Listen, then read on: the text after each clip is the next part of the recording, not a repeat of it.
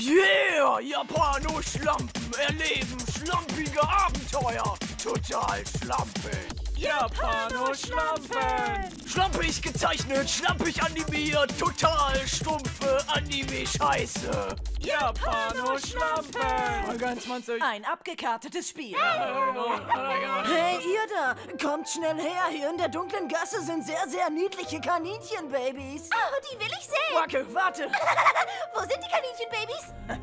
Du bist blind in meine Falle getappt. Und nun werde ich dich zu einem Kindersammelkartenspiel herausfordern. Möge das Duell beginnen. Zuerst wähle ich eine Waffenkarte. Tödliches Todesklingenschwert des Todes. Mal sehen, was mein Kartendeck für ein grausames Monster dazu für dich bereithält. Ah!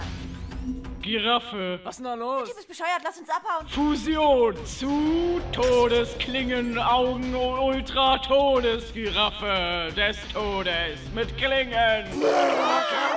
Kindersammelkartenmonster ist wirklich heftig, aber es wird nicht lange standhalten. Gegen mein Pilzequartett. Flockenstieliger Hexenröhrling. Äh, ja, und auch ich habe ein Kartenspiel dabei. Es ist ganz normal. Ah! Acht. Das heißt, der nächste muss aussetzen. Klingengiraffe, mach sie fertig. Durch Zerschneiden bekommt der flockenstielige Hexenröhrling eine bläuliche Färbung. Außerdem hat er Ähnlichkeit mit dem ungenießbaren Satansröhrling. Ach, deine Giraffe hat sich selbst außer Gefecht gesetzt, weil sie jetzt nicht mehr weiß, ob der Pilz giftig oder essbar ist. Oh nein. Gut gemacht, Wacke. Jetzt bin ich wieder dran. Ha! Nochmal eine Acht. Wieder aussetzen. Du hast vielleicht meine Giraffe besiegt, aber du hättest besser aufpassen sollen. Ich hatte die ganze Zeit noch eine versteckte Karte aktiviert. Mega Kettensägen Ultra Höllenfeuer Tentakel Giftmonster.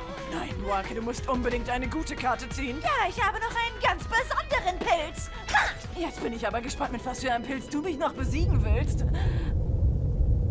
Atompilz.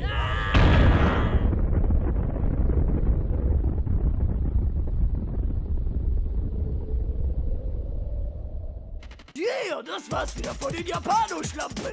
Ja, Kinder, man muss nicht immer Fernsehen oder Computerspiele spielen. Auch mit einem lustigen Kartenspiel kann man sich die Zeit vertreiben und auch noch etwas dabei lernen.